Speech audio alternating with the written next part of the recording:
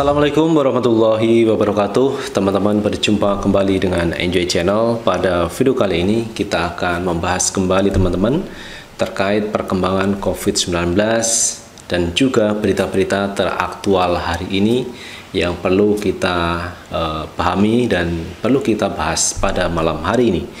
Nah teman-teman kalau kita melihat perkembangan virus corona di Indonesia Seperti yang juga disampaikan uh, tadi sore oleh Bapak juru bicara pemerintah yaitu mengatakan ada penambahan kasus virus corona di Indonesia. Yang angkanya teman-teman kalau kita lihat di media online ini ada 338 kasus. Kalau di total yang sudah terkonfirmasi ini ada 12.776 per tanggal 7 Mei 2020. Jadi hari ini ada 12.776 yang sudah terkonfirmasi. Kemudian teman-teman yang dirawat ada 9.465, kemudian yang meninggal 930 dan yang sembuh 2.381. Jadi ada kenaikan yang cukup signifikan yang sembuh ini teman-teman. Jadi yang sembuh semakin banyak. Kemudian yang meninggal ini uh, semakin mengecil menurut saya ini dibanding dengan yang sembuh. Mudah-mudahan ke depannya ini yang sembuh akan jauh lebih besar sehingga optimisme masyarakat untuk e, perang melawan virus corona ini kita nanti yang akan jadi pemenangnya. Ini harapan kita semua teman-teman. Dan kalau kita lihat sebarannya teman-teman di beberapa provinsi kita ambil empat sampel saja. Yang pertama Jakarta, ini jumlahnya yang terkonfirmasi 4.855 Jawa Barat 1381, Jawa Timur 1267 dan Jawa Tengah 904. Ini beberapa provinsi yang angkanya cukup banyak terkena pandemi virus corona. Nah, teman-teman berbicara tentang virus corona ini eh, sebenarnya berbagai riset ini telah dilakukan kapan akan selesai virus corona Kemarin ada yang mengatakan virus corona akan selesai akhir tahun 2020. Ada juga yang mengatakan virus corona akan berakhir di Indonesia. Ini pada bulan Juli 2020. Dan juga dari riset yang dilakukan oleh DNCA mengatakan bahwa virus corona akan berakhir di bulan Juni 2020. Nah, teman-teman, kalau kita melihat perkembangan sampai hari ini ternyata ada riset terbaru dari SUTD. Jadi sebuah universitas yang ada di Singapura itu mengatakan bahwa virus corona di Indonesia akan selesai pada 7 Oktober 2020. Jadi 7 Oktober 2020. Jadi ada mundur terkait uh, penyelesaian pandemi virus corona yang ada di Indonesia. Kita lihat beritanya di Kompas teman-teman. Ini ada riset universitas di Singapura wabah COVID-19 di Indonesia akan berakhir 7 Oktober 2020. Jadi masih lama teman-teman. Tetapi menurut SUTD ini e, secara global pandemi virus corona ini akan berakhir katanya tanggal 20 Desember 2020. Ini menurut hasil riset dari SUTD teman-teman. Kita baca berita sebentar.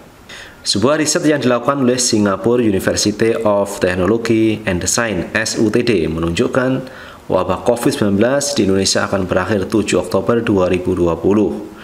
SUTD merupakan salah satu universitas ternama di Singapura yang berfokus pada kajian studi teknologi dan desain. Ini teman-teman yang disampaikan oleh SUTD dan kalau kita lihat grafiknya teman-teman ini hasil riset yang dilakukan oleh SUTD ini grafik di seluruh dunia yang akan berakhir pada 20 Desember 2020 itulah teman-teman beberapa prediksi kapan selesainya virus corona di Indonesia itu akan berakhir. Jadi semua berprediksi tidak apa-apa. Karena dari prediksi itu akan muncul keoptimisan. Optimis bagi masyarakat Indonesia untuk segera keluar dari pandemi virus corona ini jadi semua berusaha, semua bekerja sama, semua bergotong royong, bahu-membahu untuk memutus mata rantai perkembangan virus corona. Dan ini bagus teman-teman.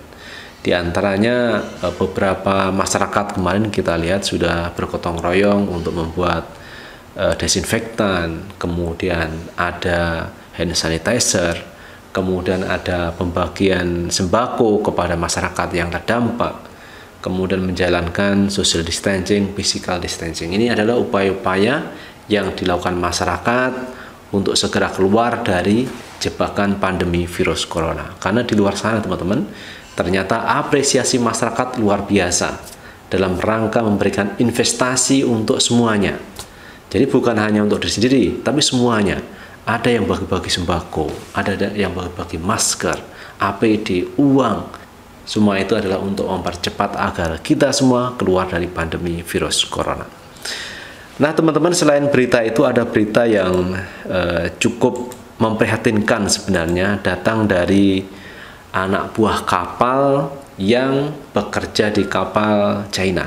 Ini mendapat perlakuan yang tidak manusiawi karena ini diduga ada perbudakan perbudakan di kapal ikan penangkap ikan milik China itu sampai-sampai ini ketua MPR Bambang Susatyo ini mengecam keras yaitu perilaku-perilaku yang bertentangan dengan asas-asas kemanusiaan bahkan Bambang Susatyo itu mengatakan teman-teman jika satu saja WNI yang meninggal sebenarnya ini adalah merupakan Eh, keprihatinan jutaan masyarakat Indonesia.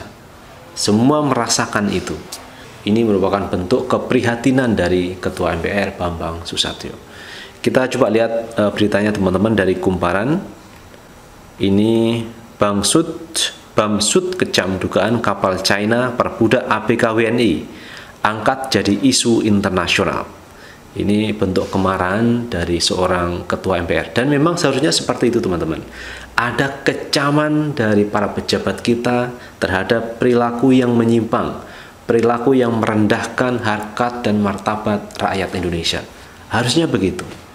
Jadi saya juga salut kepada Pak Bambang Susatyo yang begitu tegas mengecam perilaku uh, warga negara asing yang mengintimidasi, kemudian yang membuat perbudakan terhadap rakyat Indonesia. Harusnya itu juga dilakukan oleh Presiden Republik Indonesia. Harus angkat bicara karena ini sudah ada korbannya.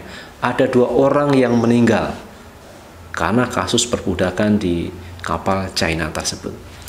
Nah, teman-teman, kita lihat beritanya sebentar. Indonesia mendapat kabar menyedihkan dari sejumlah WNI yang bekerja sebagai anak buah kapal ABK di kapal ikan berbendera China Longkin 605 beberapa ABK WNI yang diduga diperbudak lalu ada yang jasadnya dilarung dihanyutkan ke laut. Kemudian Ketua MPR Bambang Susatyo mengecam tindakan kapal berbendera China itu. Ia menilai tindakan dugaan perbudakan itu merupakan pelanggaran serius. Jadi ini tegas yang disampaikan oleh Ketua MPR apa yang dilakukan di atas kapal milik China itu adalah pelanggaran yang serius, pelanggaran kemanusiaan dan ini melanggar hak asasi manusia. Bukan saja ini adalah kasus hanya untuk Indonesia, tetapi juga untuk dunia. Karena namanya hak asasi manusia ini adalah dilindungi dan bahkan ini uh, menjadi salah satu uh, peraturan atau hukum yang ada di Indonesia. Karena itu di Indonesia itu ada Menteri Hukum dan HAM hak asasi manusia. Harusnya Menteri Hukum dan HAM ini juga mengecam tindakan yang terjadi pada uh, kapal berbendera China tersebut. Kemudian teman-teman, kata Bang Sud, kuat dugaan adanya perampasan hak asasi manusia dengan mempekerjakan ABK WNI tak ubahnya seperti budak dengan kondisi yang amat memprihatinkan harus mendapat perhatian serius dari Kementerian Luar Negeri kata Bamsud kepada wartawan Kamis 7 Mei 2020. Kemudian teman-teman, di era modern seperti ini, perbudakan tak lagi diperkenankan. Setiap manusia diakui hak asasi dan kewajibannya. Jika perlu, Kementerian Luar Negeri harus mengangkat ini menjadi isu internasional. Sambung Bambang Susatyo. Jadi apa yang disampaikan Bamsud ini teman-teman mewakili jutaan rakyat Indonesia. Dan rakyat yang memilih Bambang Susatyo ini pasti bangga. Pemimpinnya ini memberikan statement yang jelas, yang nyata bahwa apa yang dilakukan itu adalah merupakan pelanggaran hak asasi manusia dan perbudakan ini harus e, harusnya tidak ada sesuai dengan amarat Undang-Undang Dasar 1945. Kemudian teman-teman kita lihat berita lagi Wakil Ketua Umum Partai Golkar itu berpandangan Kemlu tak cukup hanya melayangkan nota diplomatik melalui kedutaan Indonesia di Beijing, China. Menurut Bamsud, Kemlu harus segera panggil duta besar China untuk Indonesia guna mendapatkan penjelasan utuh jika perlu bahwa dilakukan investigasi mendalam terkait hal tersebut. Kemudian ini yang menjadi tugas penting pemerintah sebagaimana diamanahkan dalam pembukaan Undang-Undang Dasar Republik Indonesia tahun 1945 nyawa satu orang WNI sama harganya dengan nyawa satu bangsa Indonesia Jangan sampai pembelaan negara terhadap warganya yang menjadi korban perbudakan lemah. Ini luar biasa teman-teman, saya melihat pernyataan yang disampaikan oleh Bambang Susatyo. Baru kali ini ada pemimpin yang langsung reaktif terhadap e, nasib warga negara Indonesia yang menjadi korban perbudakan di atas kapal China. Bang Sud mengatakan kasus ini harus e, dibawa ke internasional isunya biar e, dunia ini tahu terkait perbudakan seperti ini.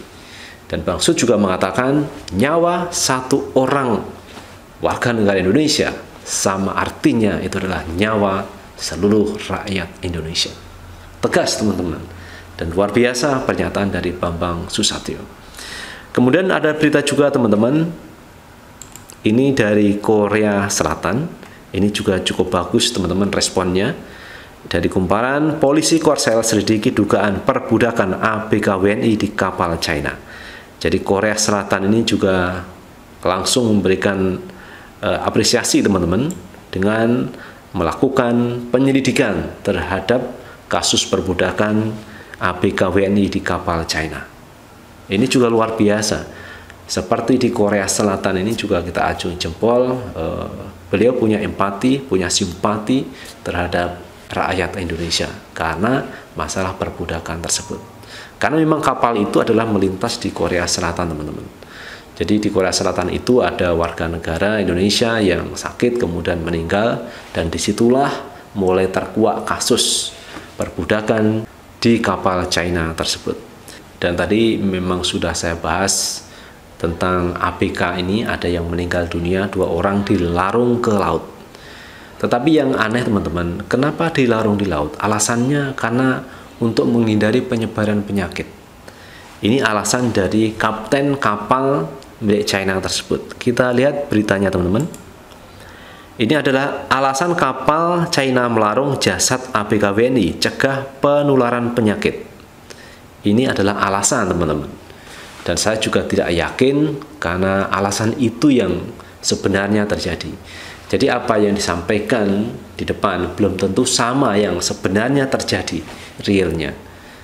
Jadi saya juga tidak yakin kalau eh, jasad dari WNI kita itu adalah jasad yang punya penyakit menular.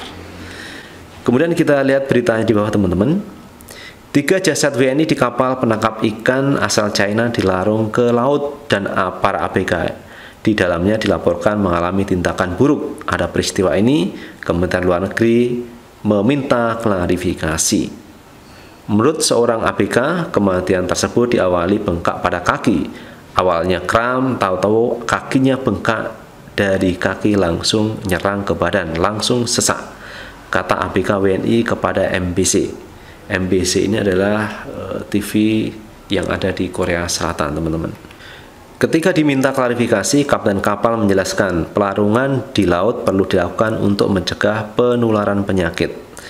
Kapten kapal menjelaskan bahwa keputusan melarung jenazah karena kematian disebabkan penyakit menular. Hal itu dan hal ini berdasarkan persetujuan awak kapal lainnya, kata pernyataan Kemlu RI.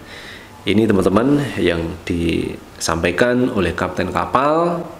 Jadi jasad itu memang sengaja dibuang ke laut karena mencegah terjadi penularan penyakit. Ini katanya, tetapi ini kan belum diinvestigasi yang sebenarnya terjadi. Nah itulah teman-teman eh, berita terkait perkembangan virus corona dan juga terkait nasib ABK WNI yang uh, meninggal dunia di atas kapal milik China dan dilarung ke laut. Ini yang menimbulkan reaksi keras dari Pak Bambang Susatyo, Ketua MPR Republik Indonesia. Itu teman-teman yang bisa kami sampaikan dan sekali lagi jangan lupa tetap like, subscribe, share, dan komen di channel ini agar kita bisa membangun channel ini menjadi lebih baik lagi. Sukses selalu. Assalamualaikum warahmatullahi wabarakatuh.